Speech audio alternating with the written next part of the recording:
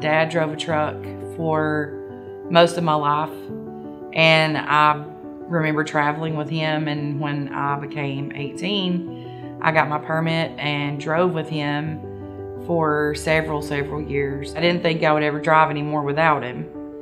I lost him last November. Lindsey Hankins, I'm the CDL instructor. I'm the first female instructor of SLTC. My day-to-day role would be students come, we get eight different faces every day. They are going to learn everything about a vehicle inspection, everything about backing maneuvers. We teach them a complete full truck inspection. So they have to know how to do everything by the time they get there to test. So no matter what's randomly drawn, they're prepared and ready to do it.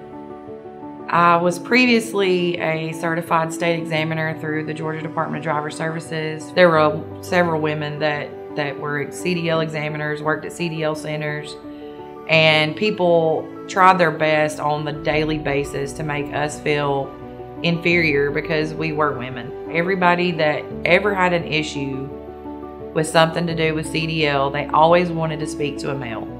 Let me speak to your manager. Where is he? Versus SLTC, everybody was so welcoming. They've never made me feel like I was in a male dominated industry. Don't let things hold you back just because you're a female and people that you're going to be working with or around or not. That's not an excuse.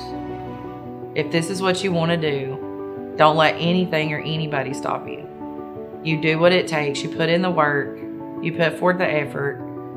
There again, you always do your best to make sure that you're top notch.